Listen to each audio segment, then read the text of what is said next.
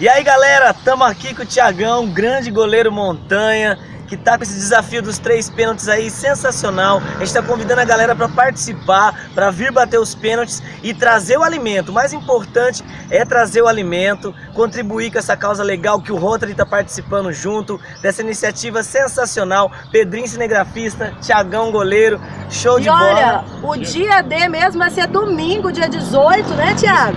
Das 9 ao meio-dia. Quem já veio pode vir de novo, mas traga doação.